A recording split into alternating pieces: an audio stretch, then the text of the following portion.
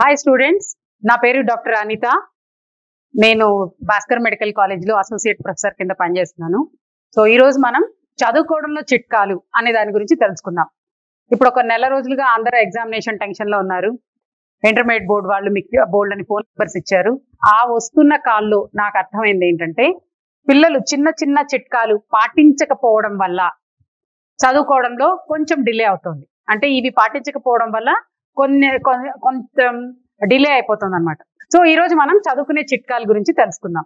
చదువుకోవడంలో చిన్న చిన్న చిట్కాలు పాటించడం వల్ల చాలా త్వరగా మనం సబ్జెక్ట్ని నేర్చుకోగలం. దాంట్లో ఫస్ట్ ఏంటంటే జనరల్గా చదువుకోవడంలో మనం చేసే పెద్ద తప్పు ఏంటంటే ఈ సబ్జెక్ట్ అంతా నాకు వచ్చేసు. లేదంటే ఈ సబ్జెక్ట్ చాలా కష్టం నాకు రాదు. లేదంటే ఈ సబ్జెక్ట్ ఒకసారి చదివితే వచ్చేస్తుంది. ఇలా అనే రకరకాల అపోహల్లో మనం ఉంటాం. అసలు యాక్చువల్గా మనకి ఎంత సబ్జెక్ట్ వచ్చు అనేది మనకే తెలియదు ఒక్కొక్కసారి. ఒక్కొక్కసారి చాలా కష్టం అనుకున్నది ఎగ్జామ్లో చాలా బాగా రాసేస్తూ ఉంటాం. వీటన్నిటికీ కారణం ఏంటంటే మనకి మన సబ్జెక్ట్ మీద ఎంత పట్టు ఉంది అనేది మనకు తెలియకపోవడం. సో ఇప్పుడు నేను ఆ సబ్జెక్ట్ మీద పట్టు ఎలా ఉందో తెలుసుకున్నామంటే దాన్ని ఎలా ఈజీగా చేయొచ్చో తెలుసుకోవచ్చు. సో మనకి ఒక సబ్జెక్ట్ ఉంది అనుకుందాం ఫర్ ఎగ్జాంపుల్ ఇప్పుడు మనకి మ్యాథ్స్ సబ్జెక్ట్ తీసుకున్నాం ఇక్కడ. మ్యాథ్స్ సబ్జెక్ట్ తీసుకున్నప్పుడు మీకు టెక్స్ట్ బుక్ లేదా స్టడీ మెటీరియల్ ఏదో ఒకటి ఉంటుంది. ఆ మెటీరియల్లో ఫస్ట్ పేజ్ మీకు కంటెంట్ ఉంటుంది. ఆ కంటెంట్ని మనం మూడు రకాలుగా డివైడ్ చేసుకోవాలి. మూడు రకాలుగా డివైడ్ చేసుకోవడం అంటే ఏంటి? నోన్ అంటే మనకు బాగా అర్థమైపోయిన టాపిక్స్ అన్నమాట. తర్వాత ఏంటి? అన్నోన్ అస్సలు మనం ఎప్పుడు వినని టాపిక్స్ తర్వాత పార్షల్లీ నోన్ ఇలా మూడు రకాలుగా మనం ఒక సబ్జెక్ట్ని డివైడ్ చేసుకోవాలి. నోన్ అంటే ఏంటంటే మనం ఆ- ఆ టాపిక్లో మనం అసైన్మెంట్ రాసి ఉండొచ్చు. లేకపోతే ఎగ్జామ్ చేసి ఉండొచ్చు లేదంటే రికార్డ్ రాసి ఉండొచ్చు ఎప్పుడు అడిగినా చెప్పగలిగేంత ఫ్రీగా ఉన్న సబ్జెక్ట్ని మనం నోన్ సబ్జెక్ట్ అంటాం. తర్వాత అన్నోన్ అంటే ఏంటంటే ఎప్పుడు ఆ టాపిక్ గురించి మనం చదవలేదు ఎప్పుడు వినలేదు ఎప్పుడు దాని గురించి ఆలోచించలేదు. దాన్ని మనం అన్నోన్ సబ్జెక్ట్ అంటాం. అంటే అసలు మనకు అసలు తెలియదు దాని గురించి. Partially known partially known subject ఎప్పుడు వస్తుంది మనం ఏదైనా ఒకసారి చదివినా లేదంటే ఒక్కొక్కసారి లెసన్ చాలా జాగ్రత్తగా వింటుంటాం అనమాట అలాంటివి విన్నా కూడా మనకి జనరల్గా ఏమవుతుందంటే ఈ పార్షల్లీ నోన్ సబ్జెక్ట్ అనేది సగం సగం తెలిసి తెలియకుండా ఉంటుంది. అంటే ఈ సబ్జెక్ట్ మీద మనం ఎక్కువ శ్రద్ధ పెట్టి చదవాల్సిన అవసరం లేదు. కొంచెం ఒక రెండు సార్లు చదివేస్తే మనకి ఈ సబ్జెక్ట్ వచ్చేస్తుంది అనమాట దీనివల్ల మనకి అడ్వాంటేజ్ ఏంటంటే ఒక్కొక్క సబ్జెక్ట్కి మనం ఇలా రాసుకోవడానికి దాదాపు మనకి పది నిమిషాలు మాత్రమే పడుతుంది. ఈ పది నిమిషాలు మనం టైం వేస్ట్ కాదు అనుకొని రాసుకుంటే మనకి అడ్వాంటేజ్ ఏంటంటే ఏ సబ్జెక్ట్లో మనకి ఎంత పట్టుంది అని తెలుస్తుంది. అంటే ఇప్పుడు మనం మ్యాథ్స్ సబ్జెక్ట్ తీసుకున్నాం. దీంట్లో ఎక్కువ ఉన్నాయి అనుకోండి అంటే మ్యాథ్స్లో నేను చాలా పర్ఫెక్ట్గా ఉన్నాను అని. అదే మనం ఫిజిక్స్ తీసుకున్నాం. ఫిజిక్స్లో పార్షల్లీ నోన్ ఉన్నా అంటే కొంచెం కష్టపడితే ఆ సబ్జెక్ట్ కూడా మనం మాస్టర్ అవ్వచ్చు అనేది అర్థమవుతుంది. లేదా ఇంకా కెమిస్ట్రీ ఉంది దాంట్లో చాలా వరకు అన్నోన్ అనిపించింది అనుకోండి. అప్పుడు దానివల్ల ఏమిటి? మన కెమిస్ట్రీ మీద ఎక్కువ దృష్టి సారించాలి. ఎక్కువ టైం మనం అన్నోన్ సబ్జెక్ట్ మీద మనం కేంద్రీకరించాలి అన్న విషయం మనకి క్లియర్గా తెలుస్తుంది. సో ఏదైనా సరే ఏ సబ్జెక్ట్ అయినా మీకున్న నాలుగు సబ్జెక్ట్లో ఐదు సబ్జెక్ట్లో ఇలా డివైడ్ చేసుకోవడానికి దాదాపు మీకు నలభై నిమిషాలు పడుతుంది. ఇలా డివైడ్ చేసుకున్న తర్వాత మీకు చాలా ఈజీ అయిపోతుంది. ఇది ఫస్ట్ థింగ్ అన్నమాట. ఏదైనా చదువుకోవడంలో చిట్కాల్లో మనం ఎంత వరకు మనం ఆ సబ్జెక్ట్లో నిష్ణాతులుగా ఉన్నాం ఎంతవరకు మనకు ఆ సబ్జెక్ట్ గురించి తెలుసు అనేది మనల్ని మనం తెలుసుకోవడం. We're evaluating our own knowledge in this subject okay next comes is study స్కిల్స్లో చాలా వరకు మన పేరెంట్స్ ఎప్పుడు చెప్తూ ఉంటారనమాట మొహం కాల్చేతులు కూర్చో కడుక్కొని కూర్చొని చదువుకోండి మొహం కాల్చేతులు కడుక్కొని కూర్చొని చదువుకోండి అని. చాలా వరకు మనం అలాంటి మాటలంటే విసుక్కుంటాం. ఏంటి చదువుకోవడానికి మొహం కాల్చేతులు కడుక్కోవడానికి ఏంటి సంబంధం అంటుంటాం. కానీ మనం ఇక్కడ ఒక విషయం తెలుసుకోవాలి. ఏంటంటే మన మెదడుకు సంబంధించిన నరాల ఎండింగ్స్ అరిచేతుల్లో అరికాళ్ళలో ఉంటాయి. ఈ రెండు భాగాలు మాత్రమే కుడి ఎడమ టచ్ చేయగలవు. అంటే పాదాలు రెండు ఇలా టచ్ చేయగలవు చేతులు కూడా ఇలా టచ్ చేయగలవు. అలాగే ఏ భాగాలు టచ్ అవ్వలేవు అనమాట సో ఎప్పుడైతే ఈ రెండు భాగాలు అంటే మన కాళ్ళు మన అరిచేతుల్ని మనం యాక్టివేట్ చేస్తామో మన బ్రెయిన్ వెంటనే యాక్టివేట్ అయిపోతుంది. అందుకనే ఎవరైనా పెద్దవాళ్ళు వచ్చినప్పుడు మనం నమస్కారం పెట్టడం లేదంటే ఏదైనా లెక్చర్ వింటున్నప్పుడు క్లాప్ చేయడము ఇవన్నీ దీంట్లో భాగమే. అలాగే మనం చదువుకోవడం బాగా రావాలి అనుకుంటే మనం చేయాల్సిన పని ఏంటంటే ముందు కాళ్ళు చేతులు కడుక్కోవాలి. కాళ్ళు చేతులు కడుక్కోవడం వల్ల బ్రెయిన్ ముందు యాక్టివ్ అయిపోతుంది. యాక్టివ్ అయిన తర్వాత కూర్చోగానే మనకు చదువు మీద ఏకాగ్రత కుదురుతుంది అనమాట ఇక్కడ మనము జనరల్గా రోజుకు ఒక టైంలో కూర్చుంటాం ఒక రోజు ఐదు గంటలకు పొద్దున్నే లెగుస్తాము. Some times we set in the evening some times we want to sleep set in the mid night so దీని వల్ల ఏమవుతుందంటే బ్రెయిన్కి అర్థం అవ్వట్లేదు. మనం ఎప్పుడు చదువుకుంటున్నాం ఎప్పుడు చదువుకోవట్లేదు అనేది బ్రెయిన్కి అర్థం కావట్లేదు. దాన్ని మనం అడాప్టబిలిటీ అంటాం. అంటే ఏంటంటే మీకు అందరికీ తెలుసు కదా మీరు ఫస్ట్ బెంచ్ లోనో సెకండ్ బెంచ్ లోనో ఎక్కడో ఒక చోట కూర్చోవడం మీకు అలవాటు. అలాగే ఒక్కొక్కసారి బెడ్కి ఒక వైపు పడుకోవడం అలవాటు. ఇదంతా అడాప్టేషన్లో ఒక భాగం అన్నమాట. అదే మీ టీచర్ గారు ఇప్పుడు మిమ్మల్ని if she ask you to sit at the back మీరు ఫ్రంట్ బెంచ్లో కూర్చుంటే if she ask you to sit at the back ఆ క్లాస్ అంతా మీకు అర్థం అవుదా ఆ క్లాస్ అంతా చికాక్ చికాక్గా ఉంటారు. ఎందుకంటే కొత్త ప్లేస్లో కూర్చున్నప్పుడు మన బ్రెయిన్ దాన్ని అలవాటు చేసుకోవడానికి కొంచెం టైం పడుతుంది. సో దీన్నే మనం అడాప్టబిలిటీ అంటాం. ఇది చాలా సార్లు మనం థియేటర్లో కూడా చూస్తాం. థియేటర్లోకి వెళ్ళగానే ముందు అడ్వర్టైజ్మెంట్లు వేస్తారు. ఎందుకంటే మనకు అదంతా అర్థం అవడం కోసమని. అలాగే మనం రోజుకు ఒక టైంలో కూర్చుంటే ఏమవుతుంది? బ్రెయిన్కి అర్థం అవ్వట్లేదు. మనం ఎప్పుడు చదువుకోవడానికి కూర్చుంటున్నాం? ఎప్పుడు పడుకోవడానికి కూర్చుంటున్నాం? ఎప్పుడు న్యూస్ పేపర్ చదువుతున్నాం? ఇది తెలియట్లేదు. సో బాగా చదువు రావాలి.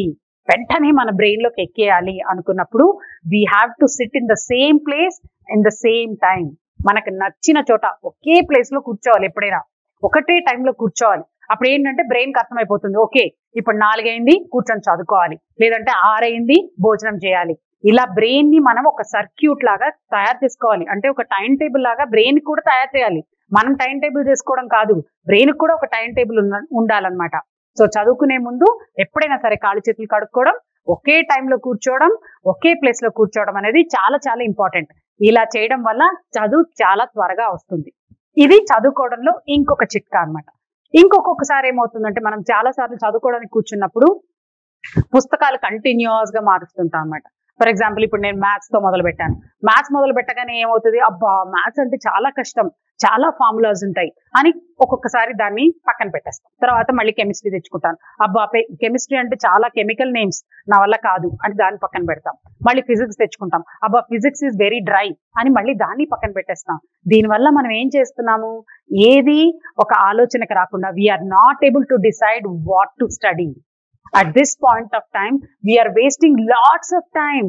We are wasting nearly half an hour to 45 minutes so to settle down ముందు కూర్చొని సెటిల్ డౌన్ అవడానికి మనకి ఇంత టైం పడుతుంది. దానికి మనం ఏం చెయ్యాలి అనేది చాలా ఇంపార్టెంట్ దీనికి మనం ఏం చేయాలంటే ముందుగా ప్రతి రోజుకి ఒక ఒక మనం ఒక టైం టేబుల్ తయారు చేసుకోవాలి. టైం టేబుల్ ఎలా తయారు చేసుకుంటాము?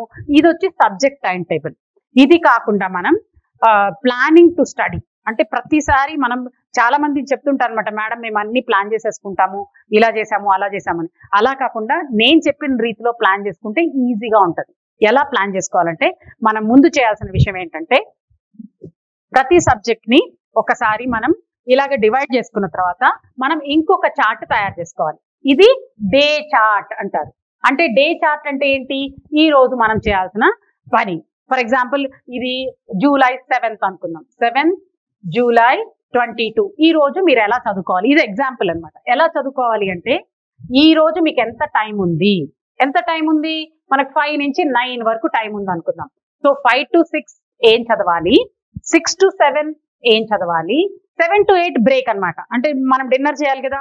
తర్వాత ఎయిట్ టు నైన్ ఏం చదవాలి? ఇది చాలా ఇంపార్టెంట్ ఇప్పుడు ఇక్కడ రాసుకున్న తర్వాత సెవెన్ టు సిక్స్ ఏం సబ్జెక్ట్ చదవాలి? ఫిజిక్స్ లేకపోతే మ్యాథ్స్ సరే ఫర్ ఎగ్జాంపుల్ మ్యాథ్స్ అనుకుందాం. సిక్స్ టు సెవెన్ ఫిజిక్స్ చదవాలి. తర్వాత ఎయిట్ టు నైన్ మనం కెమిస్ట్రీ చదువుకోవాలి. ఈ మ్యాథ్స్ని మనం ఎలా చదవాలి? ఎందుకంటే ఆల్రెడీ మన దగ్గర మ్యాథ్స్ సిలబస్ ఉంది. దీన్ని మనం ఎలా ఈజీగా చేసుకోవచ్చు అనేది ఏంటంటే ఎప్పుడైనా మనం ఏదైనా సబ్జెక్ట్ చదవడానికి మొదలు పెట్టినప్పుడు ముందుగా స్టార్ట్ చేయాల్సింది పార్షియల్లీ నోన్ ఎందుకంటే అది మనకు సగం తెలుసు కదా.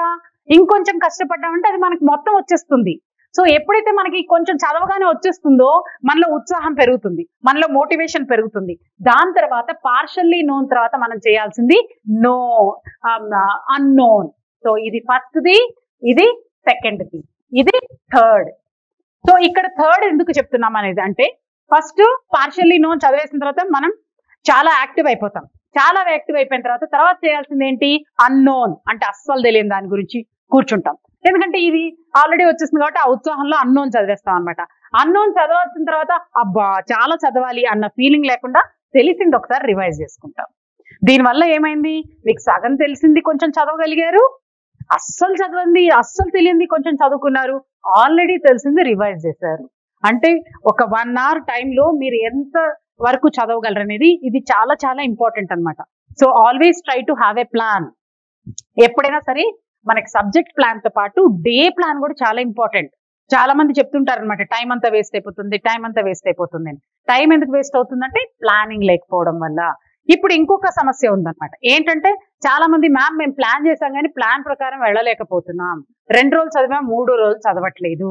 అంటే ఇక్కడ మనం తెలుసుకోవాల్సింది ఏంటంటే బ్రెయిన్ ఎప్పుడు కంఫర్ట్ని కోరుకుంటుందండి. అంటే మనం నడిచే బదులు సైకిల్ కోరుకుంటాం. సైకిల్ ఉన్న వాళ్ళు టూ వీలర్ కోరుకుంటాం. టూ వీలర్ ఉన్న వాళ్ళు ఫోర్ వీలర్ కోరుకుంటాం. ట్రైన్లో వెళ్ళేవాళ్ళు వెళ్ళే వాళ్ళు వెళ్ళాలని కోరుకుంటాం. అలా మనసు ఎప్పుడు మన మెదడు ఎప్పుడు దేని కోరుకుంటుంది? కంఫర్ట్ని కోరుకుంటూ ఉంటుంది. సో ఈ రోజు మనం దీని గురించి మళ్ళీ ఇంకొకసారి మాట్లాడదాం. ఏంటంటే మనం ఇక్కడ ప్లాన్ చేసేసాం. మ్యాథ్స్ ఫిజిక్స్ కెమిస్ట్రీ చదువుదాం చాలా సీరియస్గా ప్లాన్ చేసేసాము. నేనేమో మ్యాథ్స్ చాలా సీరియస్గా చదివేశాను. తర్వాత ఫిజిక్స్కి వచ్చింది. ఇది నా ప్లాన్ ఫిజిక్స్లో ఏమైంది? సడన్గా కరెంట్ పోయింది. లేకపోతే సడన్గా చుట్టాలు వచ్చారు. సో ఏమవుతుంది? ఫిజిక్స్ అక్కడితో ఆపేస్తాం. ఎందుకంటే ఐఎమ్ బిజీ కదా. So I stop there then what is happening after stopping there I cannot continue with chemistry maybe వాళ్ళు ఎక్కువసేపు ఉండొచ్చు. మేబీ కరెంట్ ఎక్కువసేపు రాకపోయి ఉండొచ్చు. So we are missing these two ఎప్పుడైతే ఇవి రెండు మనం మిస్ అవుతామో బ్రెయిన్ కంఫర్ట్ జోన్లోకి వెళ్ళిపోతుంది అబ్బా! ఈరోజు చదువుకునే పని లేదు. హాయిగా పడుకుందాం అని పడుకునేస్తాం. సో నెక్స్ట్ డే ఏమవుతుంది? నెక్స్ట్ డే మీరు స్టార్ట్ చేద్దాం అనుకుంటారు. ఇప్పుడు మీకు కన్ఫ్యూజన్ స్టార్ట్ అవుతుంది. ఇవి రెండింటితో స్టార్ట్ చేయాలా? లేదంటే నెక్స్ట్ రోజు అనుకున్న ఈ సబ్జెక్ట్స్తో స్టార్ట్ చేయాలనేది మీకు కన్ఫ్యూజన్ వస్తుంది. సో ఈ కన్ఫ్యూజన్ పోగొట్టుకోవాలంటే మనము ఈ రోజు ఆల్రెడీ అనుకున్నాం. ఎయిట్ సెవెన్ ట్వంటీ టూ రోజు మనం తెలుగు ఇంగ్లీషు తర్వాత ఉర్దూ చదువుకోవాలని అనుకున్నాం. అనుకున్నప్పుడు మనం దీంతో పాటు స్టార్ట్ చేసి ఒక హాఫ్ అన్ అవర్ ఎక్స్ట్రా ఇచ్చి దీన్ని తీసుకురావాలి. ఈ రెండింటి మధ్యలో కన్ఫ్యూజ్ అవడం వల్ల వచ్చిన నష్టం ఏంటంటే ఆ రోజు కూడా చదవం ఆ రోజు కూడా హాయిగా పడుకునేసి ఈ రోజు ఎలాగో గురువారము సోమవారం నుంచి మొదలు పెడదాం అని మన ఈ ప్లాన్ని మొత్తం పక్కన పడేసి సోమవారం అంటాం. సోమవారం టుమారో నెవర్ కమ్స్ రేపు అనేది ఎప్పటికీ రాదు. ఈ రోజే చదువుకోవాలి. ఈ రోజు అనుకున్నామా? ఈ రోజు కంప్లీట్ చేసేయాలి. సో ఇక్కడ వరకు మీరు చేసిన తర్వాత ఒక హాఫ్ అన్ అవర్ టైం ఎందుకంటే నిన్న ఎంజాయ్ చేశాం కదా.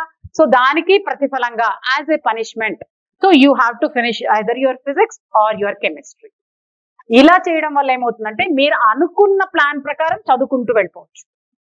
లేకపోతే ఎక్కడ చూసినా బ్రేక్స్ వచ్చేస్తూ ఉంటాయి. ఇంకొక విషయం మనం గుర్తుపెట్టుకోవాల్సింది ఏంటంటే ఎప్పుడైనా ఇవి ఇవి చదివేశారనుకోండి దీనికి చక్కగా ఇలా టిక్కు కొట్టుకోవడమో లేదంటే ఒక గ్రీన్ కలర్ మార్కర్తో మార్క్ చేసుకోవడమో ఇలా చేస్తూ ఉండాలి. ఇలా ఎందుకు చేయాలి అని చాలా మంది అడుగుతుంటారు. నాకు ఎలాగో వచ్చు కదా నేను ఎందుకు చేయాలి అని అడగచ్చు.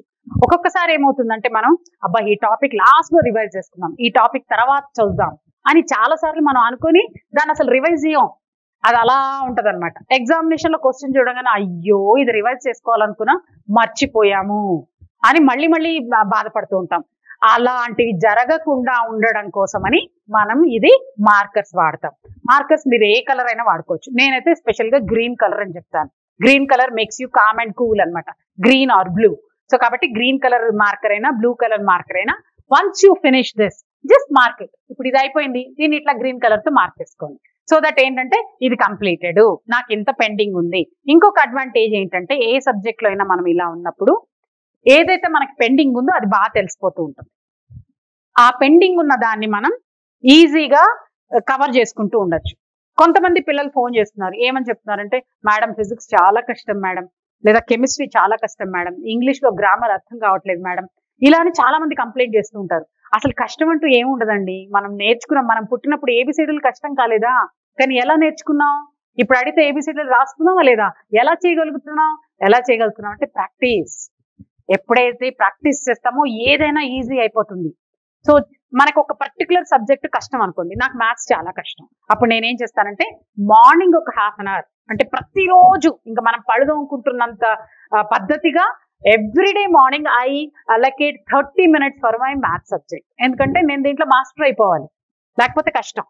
సో కాబట్టి ఏం చేయాలంటే మనకి ఏది కష్టమో దాన్ని ప్రతిరోజు పొద్దున ఒక అరగంట సాయంత్రం ఒక అరగంట చదువుకుంటే చాలు. దానికి ఎక్స్ట్రాగా శ్రమ పడాల్సిన అవసరం ఉండదు ఏదైనా కష్టం అని ఎప్పుడు అనిపిస్తుంది అంటే మనకు దాని మీద ఇంట్రెస్ట్ లేనప్పుడు అనిపిస్తుంది. ఇంట్రెస్ట్ లేకపోవడానికి రకరకాల కారణాలు ఉండొచ్చు. సబ్జెక్ట్ టఫ్ అయి ఉండొచ్చు లేదంటే ఇంగ్లీష్ లాంగ్వేజ్ టఫ్గా ఉండొచ్చు లేదంటే బేసిక్స్ సరిగా లేకపోయి ఉండొచ్చు ఎలా అయినా ఉండొచ్చు. కానీ ఇప్పుడు మేము ఇంటర్మీడియట్ బోర్డు వాళ్ళు బోల్డ్ బోల్డ్ వీడియోలు ఇస్తున్నారు. అవన్నీ చూసారంటే మెల్లిగా మీకు అన్ని అలవాటైపోయి చాలా ఈజీగా మీరు చదువులో రకరకాల చిట్కాలు నేర్చుకుంటారు. ఇంకా చిట్కాల గురించి మనం మాట్లాడాలి అంటే ఎప్పుడైనా సరే మనం చదువుకోవడానికి కూర్చో కూర్చోవాలనుకున్నప్పుడు అన్ని పనులు చేసుకొని వచ్చి కూర్చోవాలి. ఫర్ ఎగ్జాంపుల్ మొబైల్ సైలెంట్ పెట్టడం. సెకండ్ థింగ్ ఏంటంటే మనకు కావాల్సిన వాటర్ బాటిల్ లేదంటే మధ్యలో ఏదైనా తినాలనిపిస్తే తినడము అవి తీసుకొచ్చుకోవాలి. అవన్నీ పక్కన పెట్టుకోవాలి. లేదంటే ఏమవుతుందంటే మనం వాటర్ బాటిల్ కోసం అటు వెళ్తాం. అటు వెళ్ళగానే అమ్మనో లేదంటే మీ బ్రదరు ఎవరో క్రికెట్ గురించో లేకపోతే సినిమా యాక్టర్ల గురించో మాట్లాడినప్పుడు ఏమవుతుంది?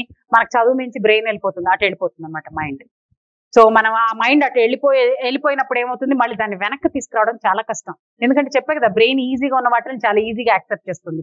కష్టం ఉన్న వాటిని కొంచెం కష్టంగా యాక్సెప్ట్ చేస్తుంది. సో మీకు ఏం కావాలో ఆ వస్తువులని మీ చుట్టుపక్కల పెట్టుకొని కూర్చొని చదువుకోవాలి. ఇంకొకటి ఏంటంటే చాలా మంది పిల్లలు అడుగుతుంటారు మేము త్రీ అవర్స్ చదవగలం ఫోర్ అవర్స్ చదవగలం యాక్చువల్గా హ్యూమన్ బ్రెయిన్ అంటే ఏ మనిషి మెదడ్ అయినా సరే నలభై ఐదు నిమిషాల తర్వాత కొంచెం స్లో డౌన్ అవుతుంది. ఈ స్లో డౌన్ అవడము చదువుకోవడంలోనే కాదండి ప్రతి ఒక్క విషయంలోనూ అవుతుంది. చాలా సార్లు మనం సినిమాలు చూస్తుంటాం థియేటర్కి వెళ్ళి సినిమా చూసిన తర్వాత అదే సినిమా మనకి టీవీలో వచ్చినప్పుడు మనకి ఏమనిపిస్తుంది? అబ్బా ఈ సీన్ చూసినట్లేదే ఈ పాట విన్నట్టు లేదే ఇలా అనిపిస్తుంది. ఎందుకు అనిపిస్తుంది? మనం థియేటర్లో కదలకుండా కూర్చున్నా కూడా నలభై ఐదు నిమిషాల తర్వాత బ్రెయిన్ షట్ డౌన్ అయిపోతుంది. ఆటోమేటిక్గా షట్ డౌన్ అవుతుంది. అందుకే మనకు స్కూళ్ళల్లో నలభై ఐదు నిమిషాల తర్వాత పీరియడ్ మార్చేస్తూ ఉంటారు.